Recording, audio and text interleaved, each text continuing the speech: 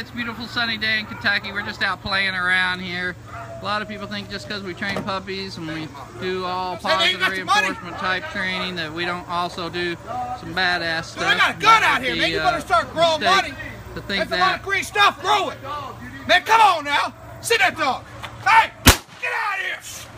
Yeah, God bless. Ah, dude.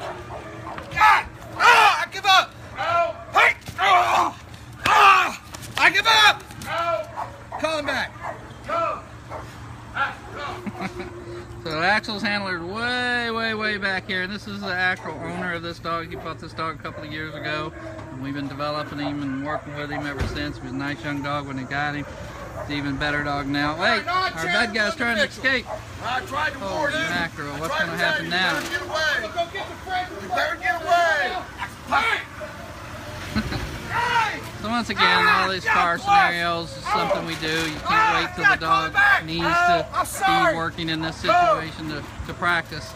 So just a lot of good, fun, go to church. early training. I think Eric's trying to get some religion now. Fuck. Hey. Once again, just a fun situation.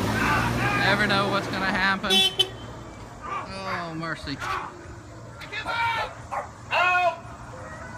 Go.